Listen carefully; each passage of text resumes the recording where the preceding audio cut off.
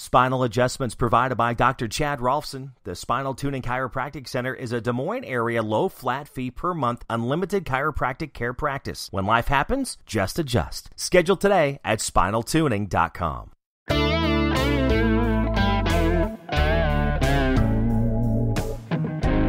Welcome to the Gospel Road. Good weekend. It was a warm one today.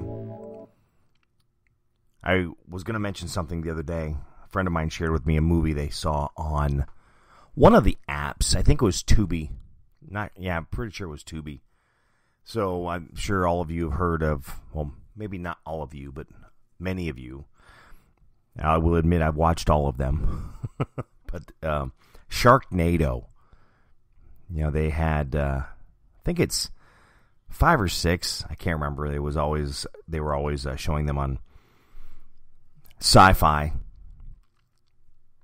and then the radio station I worked at, there was uh, one of the stations, the morning show there, actually kind of kicked in a pretty good relationship with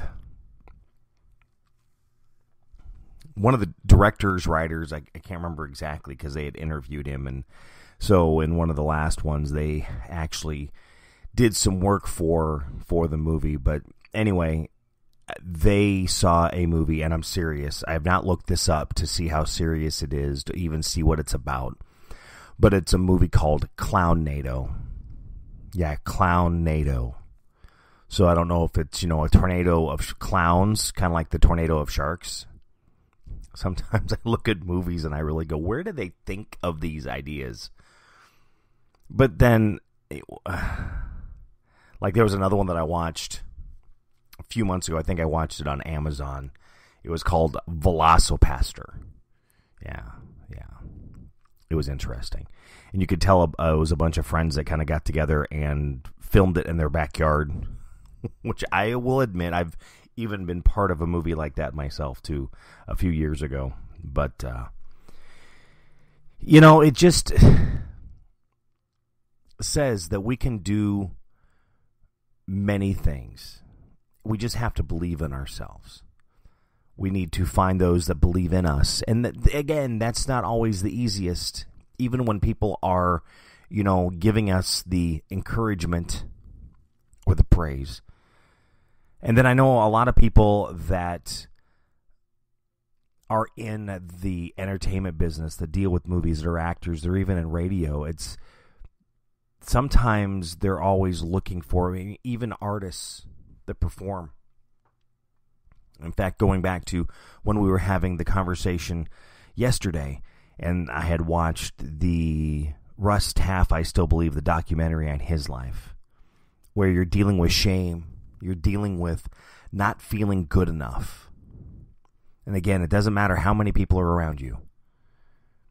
Those feelings can be there, and it's hard to fight them. It's hard to wrestle with them. But then, you know, you watch movies that can give you the inspiration, the motivation that it's the underdog. I just was watching Ready Player One this afternoon. I'd seen it before. Got together with some friends to uh, see it and look for all the Easter eggs in the movie. So it's uh, it was on, so I watched that and then uh, watched a couple other ones. I haven't really done a lot today. We had rain this morning. I wasn't able to get out and do the mowing, the yard work um, that I usually try to do on Sunday, just because it's really the day that I can get it done.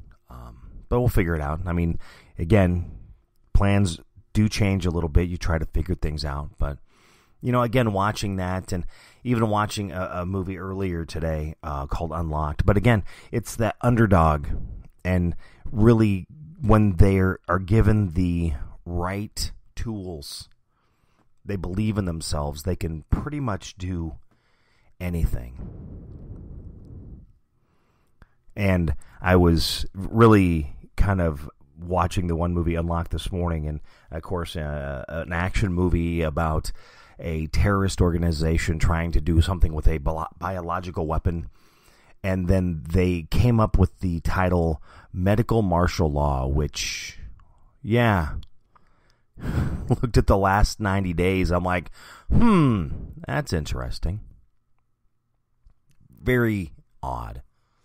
We're going to look at Ephesians 6 today, but I mean, wherever you are, you know, remember it's about really being the best that you can. I mean, I, it's the conversation I have with myself every day. Is it easy? No, absolutely not. But it's still pushing forward and still trying to do the best that you can, to be the best, to really strive for that. Even when you hear those voices, not giving in to them, finding what you can to combat those so you're able to continue and keep pushing on. I hope that uh, you are doing well today and having a better day if you haven't had a, a good few days. But always remember that. Pressing on, moving forward, being the best. You know, being better today than you were yesterday, being better tomorrow than you are today. Learning, educating, always digging put things into your mind and, you know, making yourself healthy body, mind, and soul. All right, Ephesians 6 says, Children, obey your parents in the Lord, for this is right. Honor your father and mother. Mother, this is the first commandment with a promise that it may go well with you and that you may live long in the land. Fathers, do not provoke your children to anger, but bring them up in the discipline and instruction of the Lord. Bondservants, obey your earthly masters with fear and trembling, with a sincere heart, as you would Christ, not by the way of eye service as people pleasers, but as bondservants of Christ, doing the will of God from your heart, rendering service with a good will as to the Lord and not to man, knowing that whatever good anyone does, this he will receive back from the Lord, whether he is a bondservant or is free. Masters, do the same to them, and stop your threatening, knowing that he who is both their master and yours is in heaven, and that there is no partiality with him. Finally, be strong in the Lord and in the strength of his might. Put on the whole armor of God that you may be able to stand against the schemes of the devil. For we do not wrestle against flesh and blood, but against the rulers, against the authorities, against the cosmic powers over this present darkness, against the spiritual forces of evil in the heavenly places. Therefore, take up the whole armor of God, that you may be able to withstand in the evil day, and having done all, to stand firm. Stand therefore, having fastened on the belt of truth, and put on having put on the breastplate of righteousness, and shoes for your feet, having put on the readiness given by the gospel of peace. In all circumstances, take up the shield of faith, with which you can extinguish all the flaming darts of the evil one, and take the helmet of salvation, the sword of the Spirit, which is the word of God, praying at all times in the Spirit, with all prayer and supplication. To that end, keep alert with all perseverance, making supplication for all the saints and also for me, that words may be given to me in opening my mouth boldly to proclaim the mystery of the gospel, for which I am an ambassador in chains, that I may declare it boldly and I ought to speak, so that you also may know how I am and what I am doing Tychicus, the brother, beloved brother, and faithful minister in the Lord, will tell you everything. I have sent him to you for this very purpose, that you may know how we are, and that he may encourage your hearts. Peace be to the brothers, and love with faith from God the Father and the Lord Jesus Christ. Grace be with all who love our Lord Jesus Christ with love incorruptible. Ephesians 6. Honor. Working with honor. Being the best that you can be. Not only working for you know, your job, whoever you're working for, but then also those in higher positions being good to those that are working for them. So it doesn't matter if you're a worker bee or if you're a manager or you're a supervisor. It's doing the best that you can and treating each other with respect. You know, we see at the beginning I was talking about, you know, children obeying their parents, honoring their parents, but then again, not provoking your children to anger. Okay? And then in the next one, you also hear about, you know, masters not threatening. You know, that my way or the highway thing. You know, we are in this together, working together, encouraging, motivating, and inspiring one another. We're trying to get people to be the best that they can be, not beat them down to feel like garbage, to feel like trash. It's helping them to really succeed.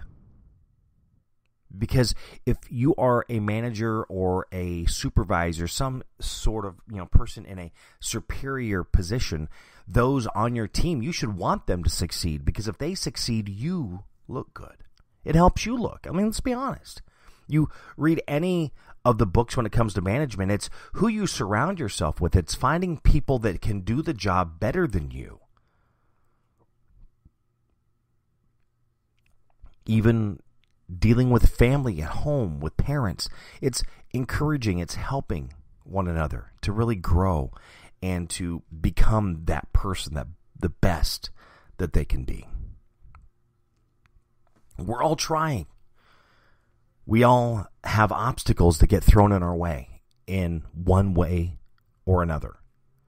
Something that we do to ourselves, something that somebody else throws in, in front of us, and it doesn't make things easy. So then we have to push extra hard. We have to focus more. And it gets frustrating. It gets to where you almost want to just give up because you don't feel that it's worth it. But you do not want to. You don't want to give up. You want to keep moving forward, keep pressing on. I've given up so many times in my life that I didn't want to go any farther. But then at the same time, I still kept pushing on. And yeah, I could probably be a lot farther than where I am, but I didn't. I made decisions. And we have to live with those decisions, whatever they may be, on how we are trying to deal with things, trying to take care of things. But just because something has happened in your past does not mean it's going to give that answer for you in the future. Yeah, it's not that at all. You don't live by your past. It's there to teach you. It's there to, you know, remind you, and not even a remind, but again, this is where you came from. But you keep wanting to to move forward and do the best that you can to be the best that you can be. Know you have those guidelines because things that have happened, and you know, again, you learn from your mistakes to hopefully not repeat them again. And I say hopefully not repeat them again because I'm not saying that it doesn't happen and you don't trip up again because you can. You know, you can always have that one thing that you're trying to really overcome and it makes it very hard to do so.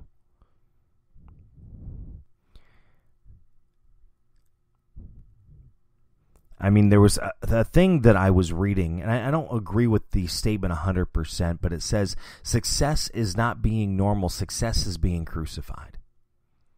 I'm not going to share with the person who said it because, like I said, I don't agree with that 100% because I do agree that success is not being normal. Because I think success is encouraging uh, people and helping others, being there, being that good Samaritan. And you know, that's not normal because that's not how the average person is. I don't believe that success is being crucified. Now, I'm not saying that there aren't those that have ended up with success that, you know, haven't had their day to where, you know, people are coming at them. But I don't think that's the way to look at it. Now, the success not being normal, absolutely, but it's remembering to love, Yeah, I've sh- shared it before and I've said it before. You know, love God, love your neighbor, love yourself. It's that unconditional love. It's being there to help people be the best that they can be because you're trying to encourage them, you're trying to motivate them, you're trying to inspire them. And that's not something that's very normal.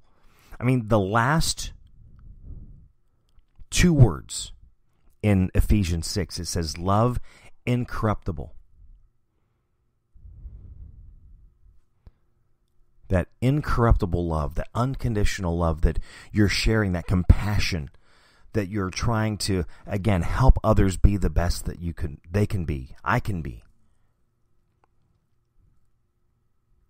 But then also not beating myself up because of the failures and the things that have happened in my life holding them against myself you know forgiving yourself forgiving others it's a journey and this is something we will always have to deal with and always be dealing with through life. It doesn't just go away tomorrow. But you can be stronger tomorrow to be able to deal with it and handle it as you keep moving forward. You know, really do the best that you can to help others, to help yourself be the best that you can be, to get that team around you, that support staff, that support team, that those people that really are going to encourage you and motivate you and inspire you. And then you give the same back you encourage and motivate them to help them because as you're trying to be better today than you were yesterday they should be doing the same thing always growing to be better always learning be the best that you can be in every way body, mind, and spirit. Take care of yourself, body, mind, and spirit. It's a huge responsibility. To take something from Spider Man and Stan Lee, you know, with great power comes great responsibility. I mean, it's a great power if you think about it because you're dealing and taking care of yourself, and there's a lot of responsibility that comes with that just like being a parent. That's a lot of power, and with great power comes great responsibility. Opening a business, taking a management role, it's great power. And with that great power, great responsibility. It's a really wild way of thinking about that. Just actually popped in my head, but it's true. You know, again, as we're really trying to help and and be the best that we can be and and not poking the bear. I will not deny that I am not I've not done that many times and still do. I've got a lot of friends that do that. But that is provoking. But at the same time, it's also, you know, not threatening. Do this or else my way or the highway. I mean, you have to find ways to really encourage and people to do things, and it's not always through a way of hate or tough love, however you want to describe that, the word you want to use. Because sometimes they can feel pretty much about the same, depending on how someone's treating you. Because if they're treating you bad enough, they might say that they love you, but it doesn't feel like it. I know because I felt it. Ephesians 6, read that today. What does it say to you? How does it help you? How does it help you encourage and motivate yourself? How does it help you encourage and motivate others? Read that today. Again, it, I'm not saying you need to believe what the scriptures say about God. I'm not asking for that. I'm just asking that you look at the responsibility to live together, to love one another. The moral part of this. We have that free will. We choose, we decide what we believe. I'm not here to tell you what to. I'm here to share what I believe. And, and again, I, I read through these and go, this is what kind of hits me as I'm reading this stuff. Yeah, again, I don't really share a lot of the. I mean, you, you again, you know how I believe and what I believe, but by no means, I certainly hope you don't think that I'm trying to shove anything down your throat because I'm not. I'm just looking at these pieces. You know, don't provoke your kids. Don't threaten those that you are supervising. Work together, be a team, help one another. It's the incorruptible love, unconditional love. Help each other be the best that they can be. Yourself to be the best that you can be, personally and professionally. Taking care of yourself, body, mind, and soul. Ephesians 6. Thank you for listening to the Gospel Road. Have a great day. God bless. Spinal adjustments provided by Dr. Chad Rolfson. The Spinal Tuning Chiropractic Center is a Des Moines area low flat fee per month unlimited chiropractic care practice. When life happens, just adjust. Schedule today at spinaltuning.com.